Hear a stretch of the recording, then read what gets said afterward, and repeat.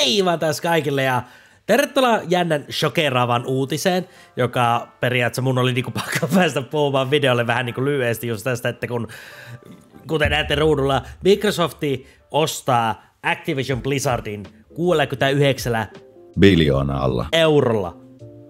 Tai dollarilla, mutta käännös on euroksi on jotain. Mutta se on kumminkin ihan liikaa rahaa, jota kukaan meistä ei voi käsittää. Ja tämä on sen takia mielenkiintoinen uutinen, koska niin kun,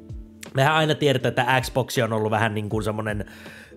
takana kulkija, ää, jos verrataan PlayStationin niin kuin line peleissä ja vastaava, vaikka Xboxilla on tosi vahva se Xbox Game Pass-systeemi, mutta tämä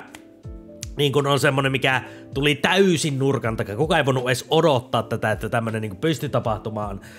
Ja nyt Xboxi periaatteessa ja tämähän ei ole siis vielä virallinen, tämä ostotapahtuma kai tulee olemaan ää, jossain vaiheessa vasta 2023, eli niin kuin ensi vuoden alussa tulee vasta tämä virallistettua tämä osto, mutta sitä siis se on nyt virallista, mutta se niin kuin osto tapahtuu vasta vuoden päästä. Mutta mä halusin lähteä vähän niin miettimään tätä niin kuin siltä kantilta, että mitä tämä niin tarkoittaa PlayStationille yleisesti, koska, niin kuin, koska totta kai tässä on monta Activision Blizzardilla, niillä on hirveästi pelejä niin kuin kaikilla konsoleilla, niin ää, mukaan lukien totta kai mitä nyt on ollut, että on Overwatch ja Diablo, Call of Duty ja WoW, no WoW on PC-peli, mutta anyways, Starcrafti ja vastaavat. Niin mua vähän rupesi kiinnostaa, että kun esimerkiksi Microsoft, kun se osti sen ää, viime vuonna 2021 sen ää, Bethesda Softworksin omistajan, se Zenimax Median, niin tota, sekin oli ihan hirveä summa. Se taisi olla 7 miljardin jotain äh, dollaria sekin, mutta ei, ei mitään 60, 68 miljardia, ei mitenkään lähelläkään. Niin ei kestänyt sinä kauan, kun Sony ilmoitti ostaneensa taas Fabric Gamesin ja Bluepoint Gamesin. Eli niin tässä niin sen takia tulee myös se paralleeli, että aikooko Sony nyt julkistaa jonkun oston niin kuin toisestaan tai niin kuin muista pelikehittäjistä ja vastaavaa. Tietystikin niin kuin nämä hankinnat olivat todennäköisiä kauan ennen, ennen kuin Microsoft ilmoitti ostavasta Zenimaxin,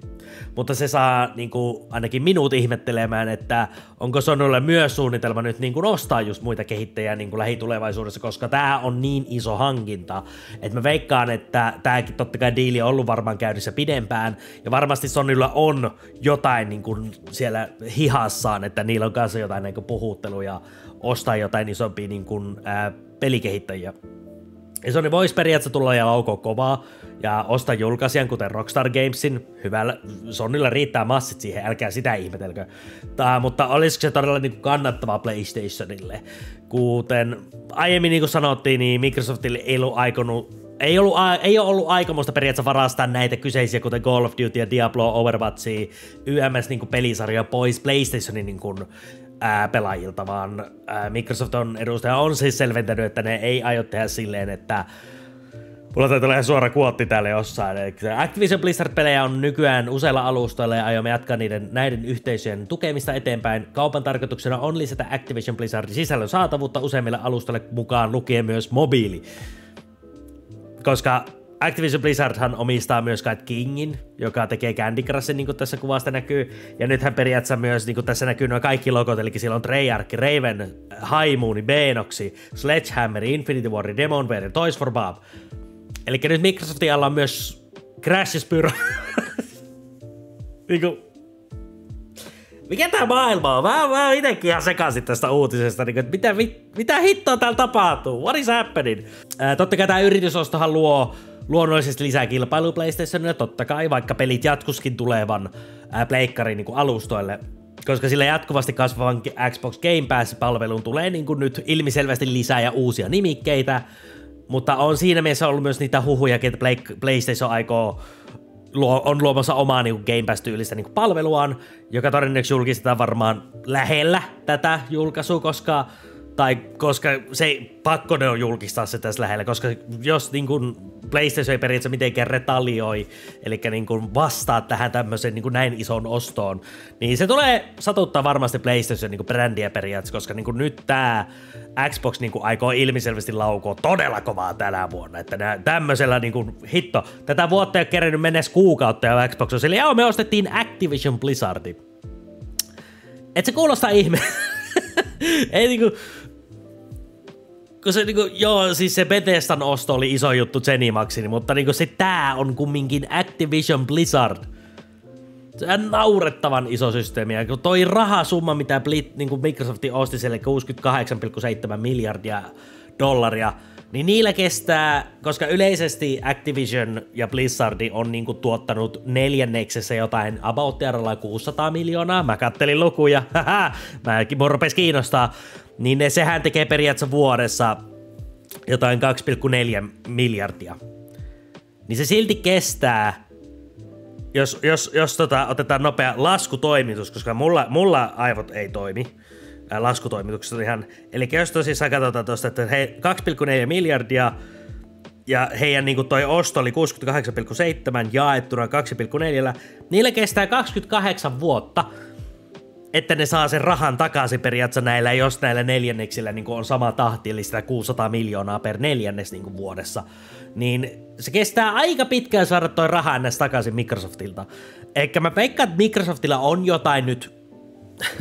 jotain ideaa saada niin tämä raha takaisin, koska yleensä varsinkin Microsoft on niin helvetin iso yritys, niin niitä on pakko periaatteessa keksiä joku systeemi, että niin tämä ei periaatteessa ole semmoinen, että ne heittäisi täysin ton rahan vaan ilmaan ja olla silleen, että okei, tässä tämä on. Että tämä kauppa pakko olla sellainen, joka, joka Microsoftilla on nyt suunnitteilla tehdä jotain rahallisesti niin myös tällä oston kautta, että ne saa sitä niin kuin rahansa takaisin paljon nopeammin, koska 28 vuotta on aika pitkä aika saada rahansa takaisin jostain ostosta. se on vähän sama, jos me, me ostettaisiin niinku, vaikka, vaikka uusi vaikka iPhone, niin me maksetaan se 28 vuotta.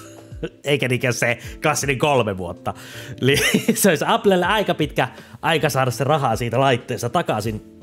vaikka se periaatteessa on jo saanut rahansa takaisin siinä, mutta anyway, ajatella se tälleen. Niin äh, Xbox on pakko niin ruveta ja Microsoft vähän niin miettimään sitä, niin kuin, että aikooko ne nostaa hintoja, aikooko ne just kompensoida sille, että nämä tämän tyyppiset pelit, sarjat nyt alkaa tulla Xbox Game Pass, joka kautta ihmiset innostuu ostamaan Game Passia enemmän, koska mä esimerkiksi tiedä, mikä katepohja sillä Xbox Game Passilla on Microsoftille, että jos se on niinku kympin kuussa, miten paljon siitä jää rahaa Microsoftille se kympi, kun ihminen maksaa kympin siitä, että onko se 80 prossaa katetta, onko se 70 prossaa katetta, 50 prossaa katetta, niin jotain Microsoftin on tehtävä, että ne haluaa, jos, ne, jos ne haluaa saada ton rahansa takaisin paljon nopeammin kuin mitä 28 vuotta on. Mun mielestä on ihan siisti juttu. Varsinkin senkin takia, koska se Activision Blizzard on ollut hirveässä ää, laillisesti hyvin paljon ongelmista, että heitä on niinku haastettu ää, oikeuteen monesta asiasta ja varsinkin tästä koko viime vuonna alkaneesta tai kestäneestä siitä niin kuin, ää, työpaikalla, niin väär, työpaikalla väärinkäyttö, tota, käyttäytyminen ja seksuaalista ää, häirintää, niin se on niin kuin iso juttu ollut Blizzardille niin kuin koko vuonna, että se on niin kuin vähän pistänyt takapakkia, ja hyvä, että se on käynnissä vieläkin, niin musta jotenkin vähän tuntuu, että Xboxi, niin kun, vaikka se on ollut varmaan puheessa pidempäänkin kuin varmaan vuoden, koska noin iso osto, se ei, ole, se ei tapahdu niin kuin kahdessa kuukaudessa, niin ehkä Xboxi myös haluaa koettaa jotenkin pelastaa Activision Blizzardin nimen jollain tasolla niin kuin pois nyt tästä, että ne ehkä aikoo niin kuin saada sen ää, oikeusjutut haltuun ja tehdä niin kuin oikeasti muutoksia tuossa firmassa, että, että valitettavastihan tämä Activision Blizzardin niin CEO, se Bobby Kotick, joka on ihan perserekä ihminen, mä sanon sen suoraan, se, on, se saa ihan liikaa rahaa siitä, että se niin kuin, ei tee mitään. Se jatkaa vielä niin kuin Activision Blizzardin niin kuin pääpomona, mutta sitten jatkosta silloin, kun tämä osto virallisoituu silloin 2023, niin silloin siitä ei vielä mainittu mitään. Ja mä toivon luoja, että Microsoft tekee fiksun päätöksiä ja oikeasti shuflaa ton koko koko Activision Blizzardin niin ne johtajatyypit ja nämä, jotka aiheutti sen pahan, pahan olon ja pahoja asioita siellä firmassa, josta nämä oikeusjutut johtuu, niin mä toivon, että Xbox tekee sen, ja sitten ne saa niin Activision Blizzardin oikeille raiteilleen, ja saavat niin kuin tehtyä sen niin kuin, vaan tehtyä paremmaksi vaan yleisesti niin kuin pelialalle, että näyttää, että tällä tavalla niin kuin johdetaan peliyritystä, eikä millään saakeli bro-meiningillä tai millään seksuaalisella häirinnän kautta, että kaikkien pitäisi kumminkin tuntea olonsa hyväksi, jos, hän me, jos menee töihin. Että jos olo ei ole hyvä, jos sä menet töihin, niin miksi oot siellä töissä? Ja sitten sekin on totta kai hieno juttu, jos nämä pelit, kyseiset pelit tulee Xbox Game Passin, koska mähän on Xbox Game Passin käyttäjä. Mulla mä, mä ostan se ihan mielellään. Siellä on niin saakelisti pelejä, mitä voi vaan pelata joko niin kuin sun Xbox-konsolilla tai sitten Play, PCllä. Niin mä oon kokeillut ihan semmoisia random pelejä, mitä mä en saa ajatellut koskaan kokeilevani ilman, että mulla olisi Xbox Game Passiin. Niin se, jos esimerkiksi Call of Duty tulee Xbox Game Passiin, mulle ei syy sitten kokeilla uusia Call of Duty, koska mä en todellakaan rupea maksamaan niistä täyttä hintaa. Ää, minusta tämä niinku yleisesti on pelialla hyvä juttu. Tämä luo, luo kilpailua ää, PlayStationille ja Xboxissa, niin kuin, niin kuin mä aikaisemmin tuossa sanoinkin, niin ne sanoo, että ne aikoo pitää, ne ei aio jakaa yhteisöjä niin kuin PlayStation ja Xboxin välillä, että niin kuin Call of Duty olisi vaan Xboxin eksklusiivinen ja vastaavaa, koska siinä se menettäisi paljon rahaa. Ää, Microsoft siis niin äh, se niin kuin, tää on vaan hyvä, koska nyt se luo vaan lisäpainetta PlayStationille lähteä luomaan joko parempia ostoja tai sitten kehittää parempia pelejä, että aina tämmöinen kilpailu, vaikka puhutaankin ostoista ja tämmöisistä, että viedään aina joltakin pois silleen karkki, niin on silti hyvästä, koska kilpailu tuo vaan hyvää. Ja Xboxi kyllä tarvii just tällaisia iskuja pleikkarille, että ne niin kuin pääsee taas niin kuin pääse, vähän niin kuin lyöntietäisyydelle pleikkariin. Eli musta on kiva nähdä, mihin tämä etenee. Tämä ei tosissaan tämän, tämän vuoden aikana todennäköisesti ei hirveästi tapahdu siinä mielessä niin kuin sitä muutosta, että se, koska se virallisoituu vasta 2023, niin jännä nähdä, mitä tulee tapahtuman pitämään, mutta tota, mä oon ainakin innoissani tulevaisuudesta ja kiva nähdä, niin kun, että Microsoft niin kun, teki tämmöisen järkyttävän liikkeen vuoden alkuun, että me, me, me, me, ei tietä, mihin tämä vuosi niin loppupeleissä menee pleikkarin puolesta, että mitä ne nyt sitten julkis, julkistaa sitten seuraavaksi. Mutta tota, tämä oli mun ka- kaksi senttiä tästä asiasta. Kertokaa ihmisiä, jos teillä oli jotain mielipiteitä asiaan ja Ää, onko tämä teidän mielestä hyvä juttu, onko tämä mielestä huono juttu, ää, tykkäättekö te tämmöisestä, että niin kun, ää, isommat firmat ostaa pienempiä firmoja, koska Xboxihan on isompi firma kuin Activision Blizzard, mutta tota, onko tämä teille hyvästä, mitä te mietitte tästä uutisesta, ne aikoo tuoda lisää esimerkiksi mobiili, mobiilimaailman niin kun, sisältöä jotenkin tämän avulla, kertokaa ihmisiä, mitä olette mieltä ja pistäkää ne tuonne kommentteihin alas. Niin ja mä, mä luen kaikki kommentit siitä kyllä, että mua kiinnostaa kuunnella teidän mielipiteitä asiasta ja ei mulla muuta. Muistakaa, on hei oikein kauneen. Nähdään taas ensi kerralla ja se on moi moi!